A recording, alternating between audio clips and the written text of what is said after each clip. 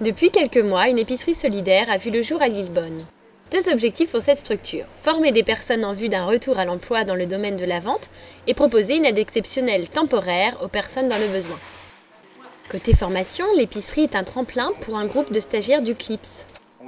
Ces stagiaires profitent d'une plateforme technique à échelle humaine pour mieux appréhender les métiers de la vente.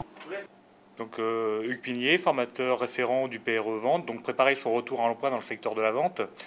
La formation est euh, financée euh, par la région Haute-Normandie et par l'Europe.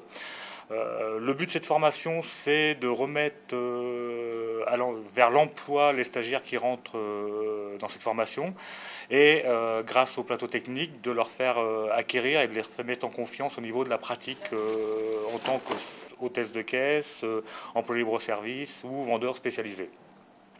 Donc euh, c'est une formation qui euh, dure environ 4 mois et demi et où la moitié se passe en entreprise et la moitié en centre. Mais on s'arrange toujours de donner un peu plus d'entreprise parce que le but final c'est de décrocher un contrat de travail, soit en durée déterminée, soit en durée indéterminée.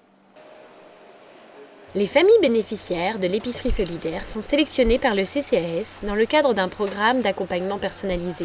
Après achat d'une carte à coût réduit, les familles peuvent venir faire leurs achats le lundi après-midi, le mercredi matin et le vendredi matin. Elles ne payent que 10% du prix réel des articles en rayon. Les bénévoles d'associations caritatives sont aussi présents pour amener de la convivialité dans ce lieu d'accueil.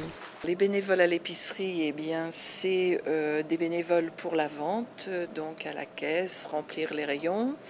Et il y a également des bénévoles en tant qu'accueil. Donc là, euh, les bénévoles en tant qu'accueil, ils, proposent un petit café, euh, ils discutent un petit peu avec eux. Et bah, voilà, tous les bénévoles. Donc nous sommes six bénévoles à la vente et beaucoup de bénévoles à à l'accueil. Donc nous recherchons un petit peu de bénévoles à la vente pour, avoir, euh, pour faire un roulement au niveau des bénévoles. Les locaux de cette épicerie solidaire sont temporaires. Les bénéficiaires seront bientôt accueillis dans un lieu plus fonctionnel.